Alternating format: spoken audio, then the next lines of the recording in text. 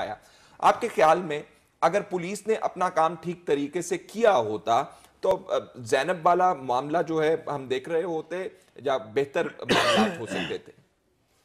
دیکھیں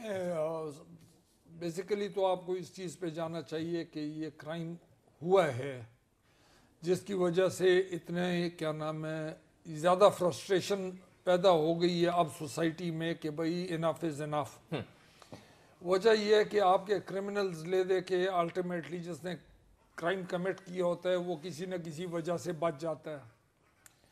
تو پبلک جو ہے اس وقت اتنی فرسٹریٹڈ ہے اتنی اس انتہا تک پہنچ چکی ہے کہ they don't even want to see the faces of these politicians اب پولیٹیشنز کو گھبراہٹ ہو رہی ہے اس علاقے میں آتے ہوئے۔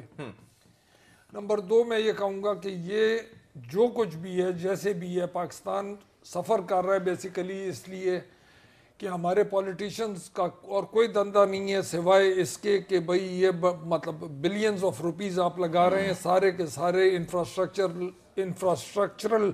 چیزوں پہ تاکہ کمیشنز آپ کو ملیں اور جس طریقے سے پولیس کی ڈیولپمنٹ ہے کرائمز کو روکنے کے لیے فورنزک سائنس لیبارٹری یا ہومیسائڈ کے اور مرڈر ہومیسائڈ مرڈر کو ہی کہتے ہیں۔ ہومیسائڈ کے اسپیشلسٹ اور ہینیس کرائمز کے اسپیشلسٹ کڈنیپنگ uh, اور دوسرے ڈیٹیکٹیوز اور اس سائڈ پہ کوئی توجہ کسی کی نہیں ہے۔ وہی ایک ایسے چو ہے کہ وہ اس نو اندر کر دے دیتے اس نو باہر کر دے۔ ابھی آپ دیکھ لیں مثال کے طور پہ جو پولیٹیکل آپ کے کیسز ہیں، آپ ایک مجھے بتا دیں کہ مطلب بی آنیسٹ مطلب to yourself and to God کہ جن لوگوں پہ آپ نے یہ کیسز ابھی کیے ہوئے ہیں I won't name any one